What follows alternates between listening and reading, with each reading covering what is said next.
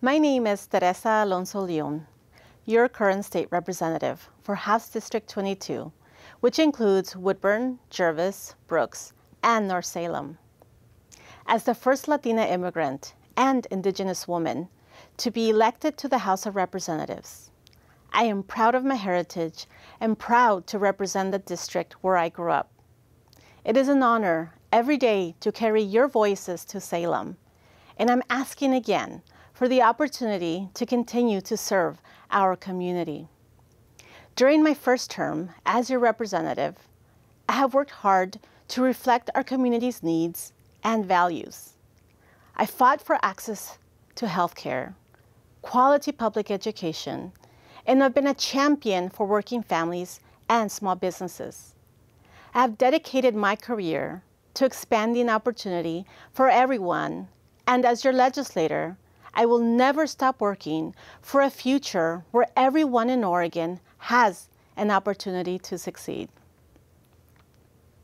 Access to quality, affordable health care is one of the biggest challenges of our time.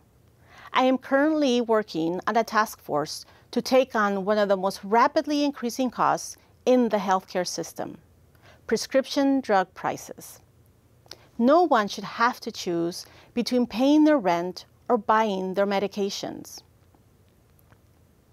As the former administrator of the state's GED program, fighting for better access and making education affordable has been a top priority for me.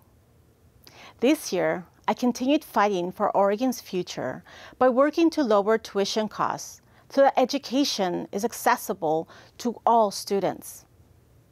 I also introduced a law that protects small businesses, especially those from our rural communities, by permitting local pharmacies to deliver medications to patients via mail. This makes it possible for Oregonians who don't have a pharmacy close by to still get the life-saving medicine they need. Putting Oregonians first has been and will always be my priority. As your representative, I will always be an advocate for paid family leave so that none of us has to choose between caring for a sick family member or paying our bills.